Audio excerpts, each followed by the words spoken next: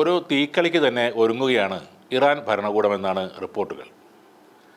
ജൂതരാഷ്ട്രമായ Israel കത്തിക്കുമെന്ന് വെല്ലുവിളിച്ച് മാരകായുധങ്ങൾ നിർമ്മിക്കുകയാണ് Iran.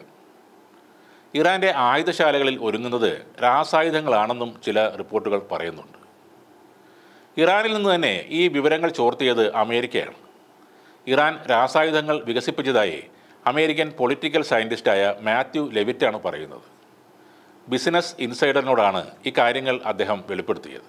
സൈനികരെയും സാധാരണക്കാരെയും ഒരേപോലെ ഇല്ലാതാക്കാൻ ശേഷിയുള്ള ശക്തമായ പദാർത്ഥങ്ങളായ ഫെൻഡനൈൽ പോലെയുള്ള സിന്തറ്റിക് ഒപ്പിയോയിഡുകൾ ഉപയോഗിച്ചാണ് ഇറാൻ രാസായുധങ്ങൾ വികസിപ്പിച്ചതെന്നും മാത്യു ലെവിറ്റ് മുന്നറിയിപ്പ് നൽകുന്നുണ്ട്.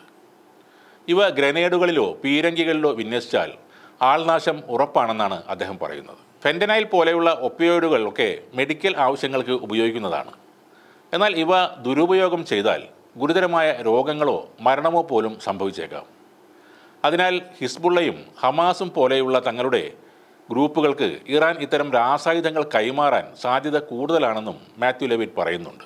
രാസായുധമായി ഉപയോഗിച്ചാൽ നിരവധി പേർ കൂട്ടത്തോടെ കൊല്ലപ്പെടാൻ കാരണമാകുന്ന രാസവസ്തുവാണ് ഫെൻഡനൈൽ മനുഷ്യരുടെ കേന്ദ്ര നാഡി വ്യൂഹത്തെയാണ് ഇത്തരം രാസവസ്തുക്കൾ ബാധിക്കുന്നത്.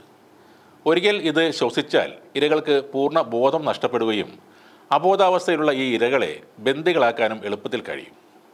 ആയിരത്തി തൊള്ളായിരത്തി എൺപതുകളിലെ ഇറാൻ ഇറാഖ് യുദ്ധസമയത്ത് ഇറാനെതിരെ ഇറാഖ് മസ്റ്റാർഡ് ഗ്യാസ് പോലെയുള്ള രാസായുധങ്ങൾ പ്രയോഗിച്ചിരുന്നതായും ലെവിറ്റ് പറയുന്നുണ്ട്.